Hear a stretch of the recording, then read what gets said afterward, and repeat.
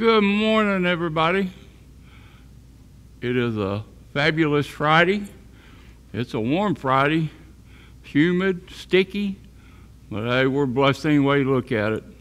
Stay tuned. We'll be right back. Dads, be like Joseph.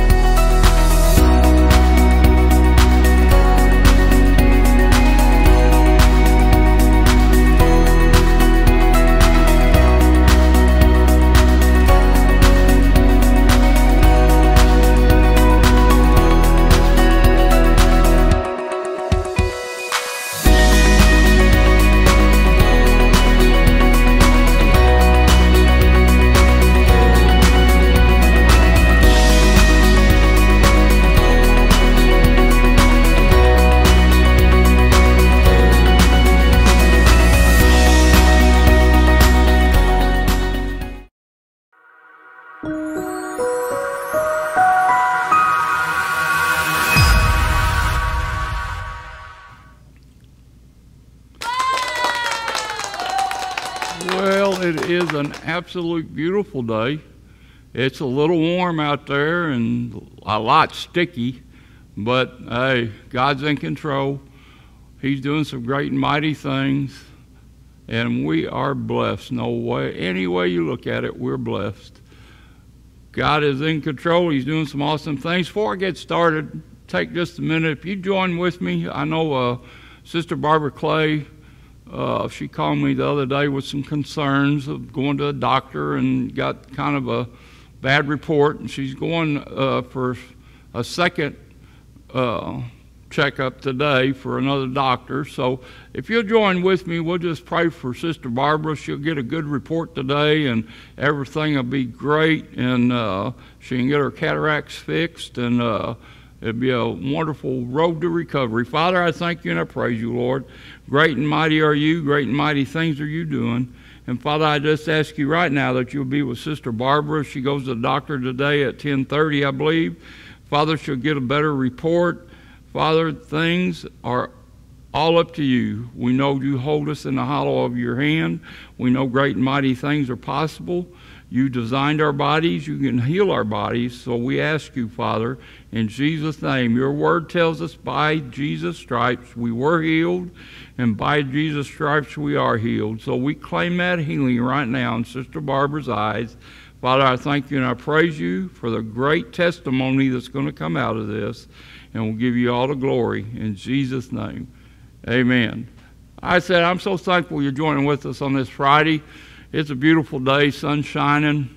Uh, it's been been a busy week. Uh, a lot of things going on at the campground. A lot of things going on here, and so you know. But hey, God's in control. I wouldn't change a thing. I'll be. I love being where God wants me to be. I love doing what He He wants me to do.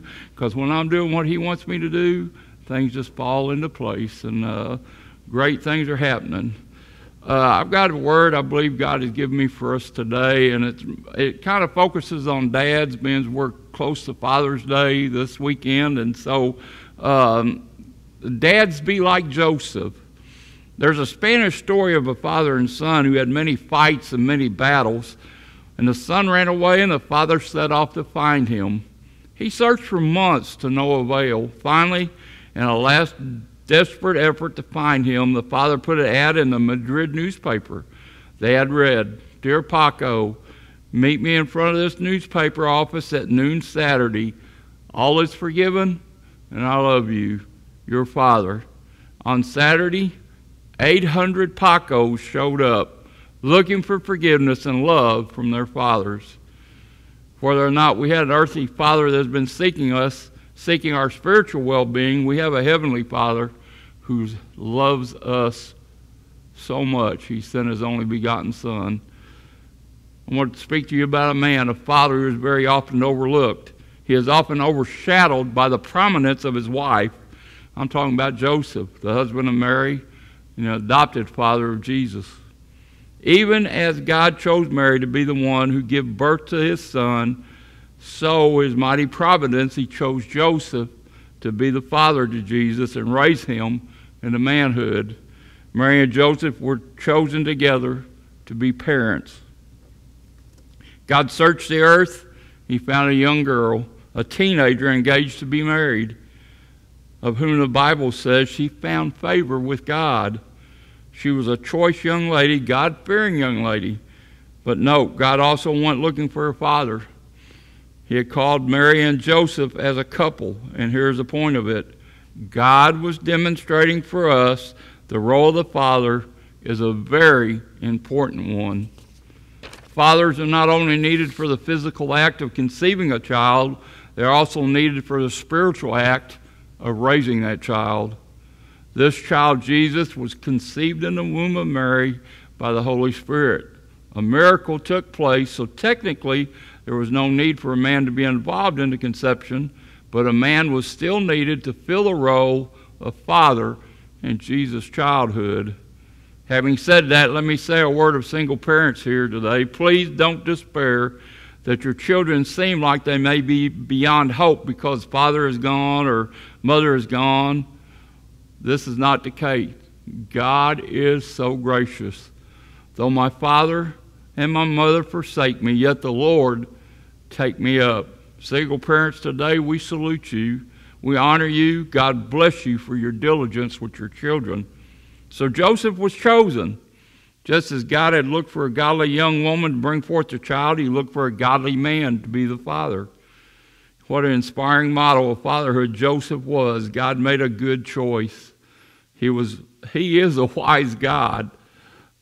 Let's look together for a few minutes some of the things the Bible tells us about this man, Joseph. Matthew 1 18 through 25. Now, the birth of Jesus Christ was his father.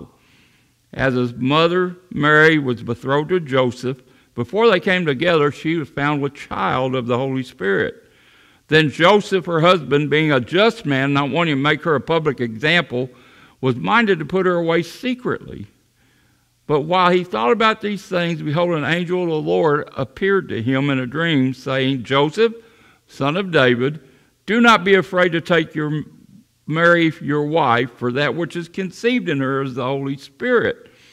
She will bring forth a son. You shall call his name Jesus. He will save his people from their sins. So all this was done that it might be fulfilled what was spoken by the Lord through the prophet, saying, Behold, the virgin shall be with child and bear a son, and they shall call him Emmanuel, which is being translated God with us. Verse 24 Then Joseph, being aroused from his sleep, did as the angel of the Lord commanded him, took to him his wife. He did not know her until she had brought forth her firstborn son, and they called his name Jesus. Matthew 2 13 and 14. And when they had departed, behold, the angel of the Lord appeared to Joseph in a dream, saying, Arise, take the young child and his mother, flee to Egypt and stay there until I bring you word, for Herod will seek the young child to destroy him. 14 says, when, we when he arose, he took the young child and his mother by night, and they departed for Egypt. In Matthew 2 19, and 19 through 21, now when Herod was dead, behold, an angel of the Lord appeared in a dream to Joseph in Egypt, saying, Arise, take the young child and his mother, go back to the land of Israel for those who sought the young child's life were dead. Then he arose, took the young child and his mother, and came into the land of Israel. What do we know about Joseph from the Bible? Number one, Joseph was a loving man. The scriptures draw this picture for us a wonderfully caring, affectionate man. And we see this firstly in his relationship with his wife Mary. Joseph finds out Mary's pregnant. How does it make him feel? Angry, betrayed. The penalty for adultery in the Old Testament is death by stoning. This penalty applied to infidelity during an engagement as well as marriage. Now, by New Testament times, things have changed somewhat, but the matter was still treated as a grave offense. Upon discovery that Mary was pregnant, Joseph would have been obliged to divorce her. Divorce was required to break off an engagement, and this would expose Mary to public shame and humiliation. But when but even before God spoke to Joseph, Joseph wasn't operating from vengeance or bitterness of heart. The Bible says he was minded to put her away secretly. There were ways in which a divorce could be enacted very quietly without the involvement of a judge, and Joseph was already considering the best way to do that. Joseph was kind. He loved Mary. It's based on a real commitment, and husbands, the Bible says to us today, we must love our lives with all that we have. Joseph was a loving man towards Mary. The most important thing a father can do for his children is to love their mother, David, David McKay. Creating a warm, caring, supportive, encouragement environment is probably the most important thing you can ever do for your family, Stephen Covey. When Mary was about to give birth to Jesus, there was no room for them in the end, but Joseph did the very best he could to see that Mary was taken care of. But we also see Joseph was a loving man in his relationship toward Jesus. When the child came along, the child he had not conceived, there was no attitude in Joseph saying, This boy isn't my flesh and blood. There was no resentment or indifference toward him, no lack of love at all. Joseph adopted Jesus as his own.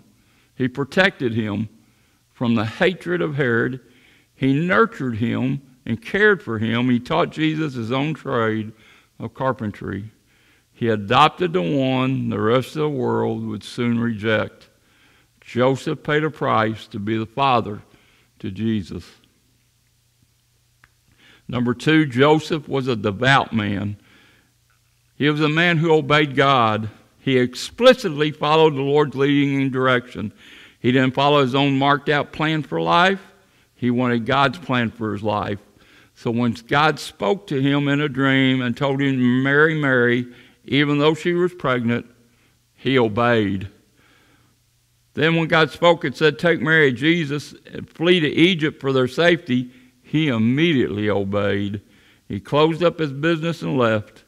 And God said, It's okay now, head back to Israel. Again, he did as he was directed.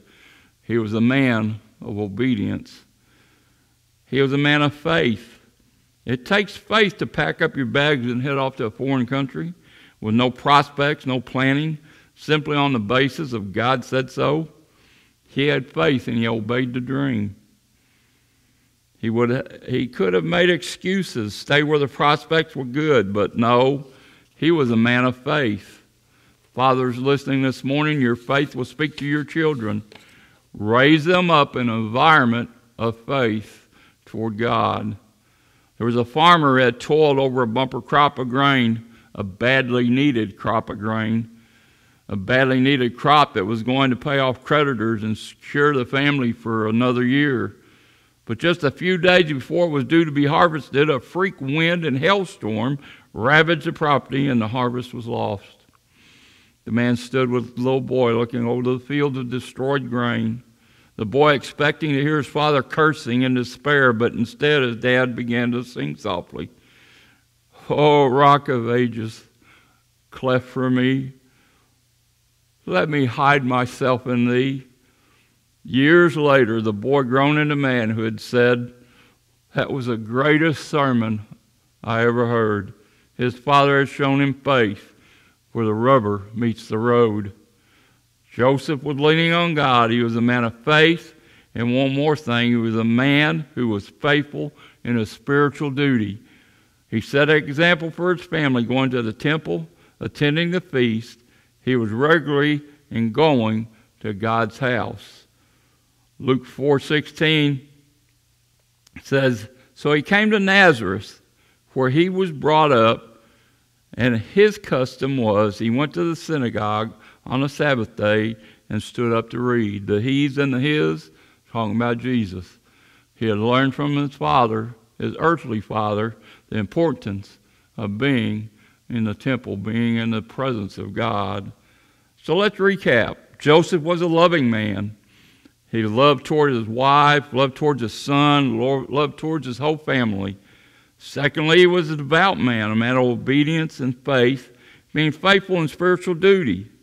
But finally, Joseph was a wise man. Joseph was wise because he lived as the one who redeemed the time. By all accounts, it seems that Joseph had a shortened life. We don't read of him after Jesus' childhood. At the cross, Jesus charged John with the care of his mother.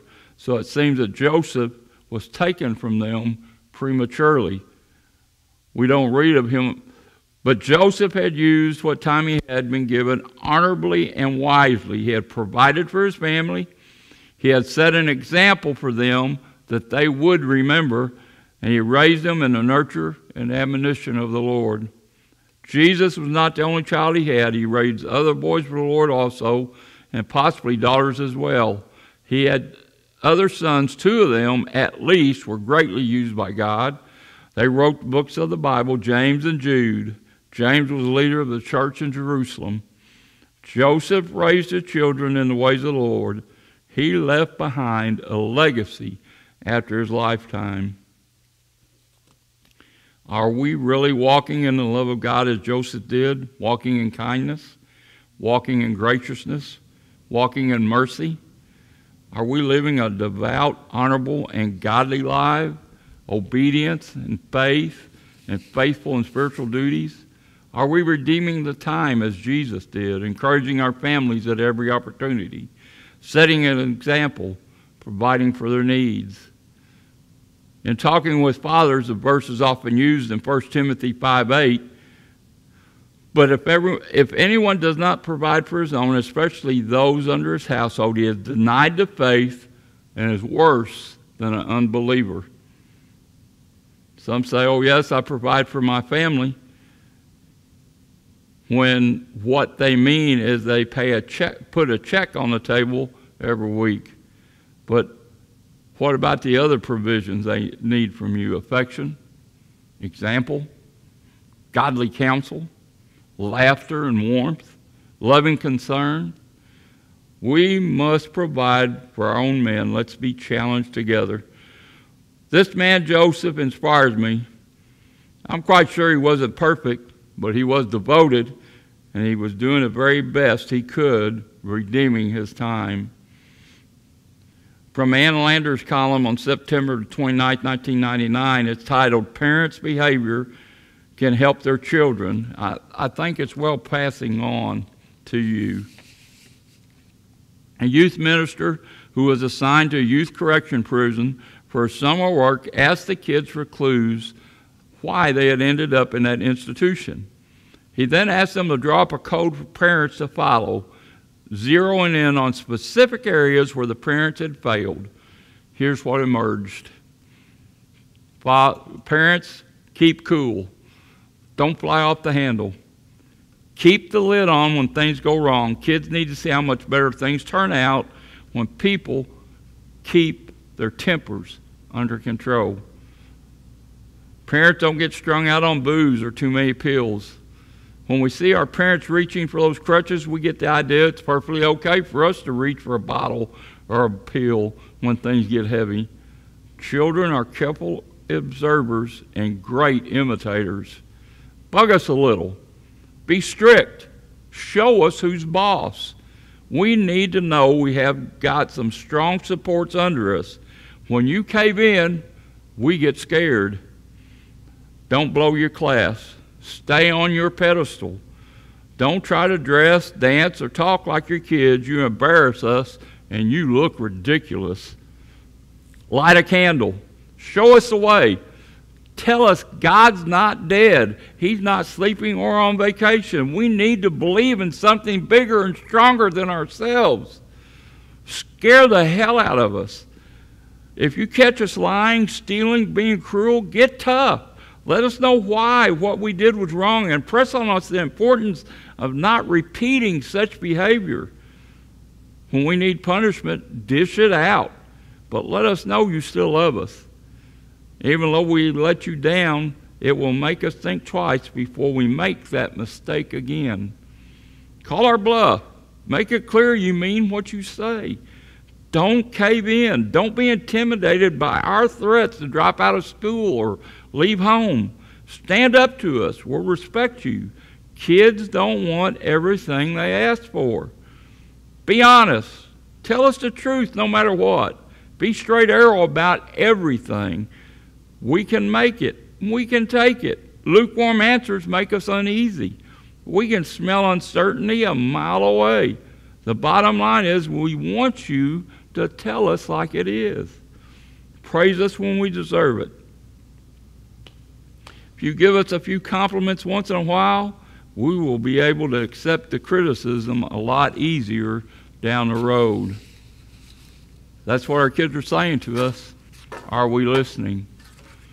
Dads, it's very important, and moms, grandparents, foster parents, whatever the situation may be, it is so very important that we rely on God and that they see us relying on God. It's a difficult world we live in right now, but you know, God's in control. He puts authorities in place and he moves authorities out of place. Don't always understand, but I know he holds this whole world in the hollow of his hand. There's nothing that takes place that's taken him by surprise. There's nothing going on that he hasn't created. Father, I thank you and I praise you for this day. God, you are so worthy to receive the praise and the glory. The awesome things you're doing with us and through us, Father, I, I just don't understand. But I know you hold us in the hollow and you'll never ever let us go. Father, I know we can allow ourselves to slip out of your grasp, but you hold tighter and tighter, and I thank you for that. Father, those that need direction and guidance, those that need help, Father, I ask you right now to pour into their hearts and lives. Give them direction, Father. Let them know that you're always there. You're always there to help. You're always there to help them through what needs to be done. God, I praise you. I thank you for this time. Help us, Lord, to ever be relying on you. For we know, God, you'll never ever leave us nor forsake us. You stick closer than a brother. I thank you, Lord, and we'll give you the praise and the glory in Jesus' name. Thank you for being with us. You're such a blessing. It's been an awesome day. It's going to be a great weekend. Brother Roger Whetstone, Sister Glenda will be with us Sunday for our Father's Day. Be here. You're an encouragement to us when you, you attend. Those that can't, we understand. That's why we live stream, so you can take part and be a part. But hey, be blessed. You're a blessing. Have a great day and a great weekend. Dads, we appreciate you. We love you. Hold true to the faith because God is in control. The lights are still on at the lighthouse, and we're going to make it with Jesus. Have a great day.